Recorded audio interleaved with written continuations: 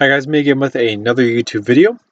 Today we're going to be taking a look at another remake of an older gun that I did. This is the PP90 M1 Mark II.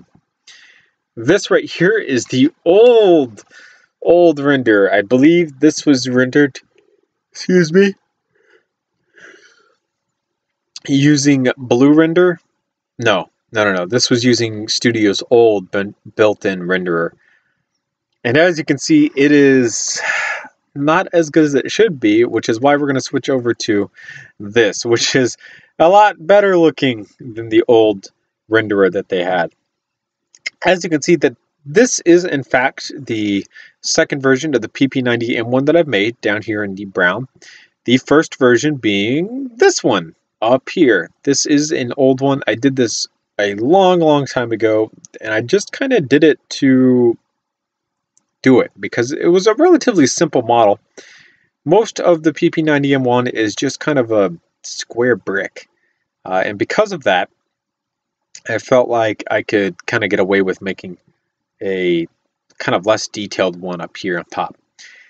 And I did for a little bit, and then I kind of grew as a Lego builder, and all of a sudden we end up with something like this. This is a lot more complicated of a model, and it retains a lot better uh, looks as compared to this one up here. So if we transfer over into LDD itself, you can see that things haven't really changed over here. It's all pretty standard looking. And we can talk about this. So let's go ahead and hide this out so that we don't got to look at it as much and focus primarily on the new model. So first things first is I would like to unfold the stock so that that gets out of the way. We can start looking at it more. The problem is I don't know if it's going to cooperate with us or not. So this is held in using these pieces on both sides. And the problem with that is it gets a little wonky with two Technic pieces in there. So what we're going to do is remove one of them. And we're going to flip this stock over until it gets Oh, I thought it stopped. I guess not. Until it gets to a, about there. I could have sworn I had taken and put little wings out on the bottom here to stop it from going that far, but I guess not. It's something that I'm going to have to take a note of to come back redo. So it folds out like so. And then we get this stock. It sits down just like this. Uh, this was built using a whole bunch of bracket pieces, as you can see, and then a whole bunch of tiles on the bottom of it so that we can get the overall look that we're going on here for the, the swooping portions of the stock. Once it gets to here, you can unfold this section of it. Oh, of course. Let's just delete this out and now try. Yeah, imagine that. It all works when there's only one of the brackets and not two of the brackets. It's kind of weird like with that LDD. And then boom, we have an unfolded stock. And then if we kind of sit here and fold it back over, you can see that it just folds over, basically. So it's kind of how that works. Pretty simple. So now we can actually see a lot more of the gun in its entirety. So now that we can see a lot more of the gun, let's take a look at particularly the grip area. And this is where the grip changed dramatically as compared to the old model. So if we can just kind of slowly adjust our view to right about here. So as you can see on the old model, I went with a just straight up and down build, just using bricks, and they're kind of offset just a little bit to get the shape going on. For the new build, what I did is I used uh, my patented it's not really patented, but it is my technique. Uh, Technic going on through here, so it connects back here and up here, and then the whole inside is actually hollow still. I used this originally as a magazine well for pistols, but I used it here as a pistol grip. As you can see, there's a couple different bricks going in all sorts of different directions to achieve the rounded look in the back here. And it's offset so that we get a slight curve. And then on the front, it's actually curved using actual pieces. And it's all at the appropriate angle that it should be. Nice and closed off. Not too much gaps going on here. Really happy with this one.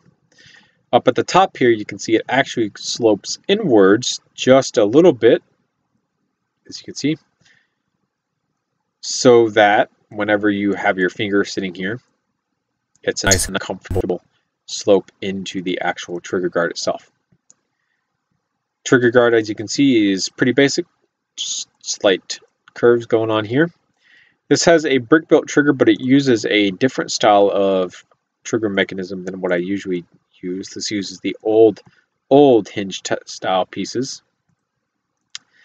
Uh, pretty simple, basic going on there. And then there's a couple just small details going on here. A little bit of a flare out here on the actual model.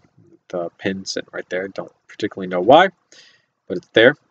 Uh, something that is missing is actually a magazine release. It's supposed to go right in here. I thought I had made one, but apparently not. So bear with me on that one. Sorry about that. The main body of this gun is actually four studs wide, as you can see here. It's rounded up on top, give it a nice clean look. Back side's pretty simple, front side pretty simple, nice rudimentary. This has a shell ejection port that's basic brick built, and it's connected to the charging handle up here, which goes into the gun like so. Has a small curve look to it, except the, uh, it's not using perfect curves, so it's got a good look to it, but it doesn't like, overly complicate anything. And then the actual kind of this frame of the gun is actually at five studs wide uh, compared to the gun's four studs wide. You can see on this version of the gun up here, most of it was four studs wide and I just used plates to get that kind of illusion that it was stuck out a little bit. But this overall looks way better down here than the one up here. For the disassembly pin, I kind of switched up a little bit of the method as well. Just kind of flip these pieces around just a little bit. Looks a lot better. And then the magazine is way different uh, between both of these models. This one up here, it's this weird kind of tube thing, but not really a tube thing. And then down here, it's actually a tube. And the pieces that I used, you can actually load rounds into it. So I've kind of made bullets that you could uh, load into the actual gun. You can see them. Uh, this, it looks a lot lighter, but here it's a lot darker. It's this more, it's a more smoky, translucent color. Um, so for the sake of getting them in here, I put them in here in this perfect circle, but kind of how I imagine this working is uh, you would basically take and put a kind of like a four stud wide, probably a three stud wide cylinder going through the middle of this. And then it'd be really painstaking, but you would take and spiral these bullets into the actual around the three studs, and you would hold the bullets to the three studs with rubber bands uh, in place, and that would serve as our spiral helical magazine, which we have, and a good way to kind of replicate the smoky translucent look so that you guys can like if you're shooting the gun you can see the actual magazine itself basically yeah it's a little complicated uh, this locks into place up here pretty simple using these pieces right here and then it's supposed to lock into place in the back using the magazine release obviously but I uh, don't have one so awkward and then we have our little winding tool. So this is pretty simple. You take and you grab onto this whenever you reload the magazine, and then you sit and flip it around a whole bunch of times until it winds up. And just sits nice and easy.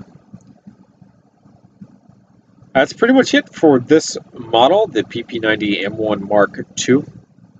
Overall, uh, a lot better looking, a lot more uh, detailed and a lot more worthy of having my name attached to it.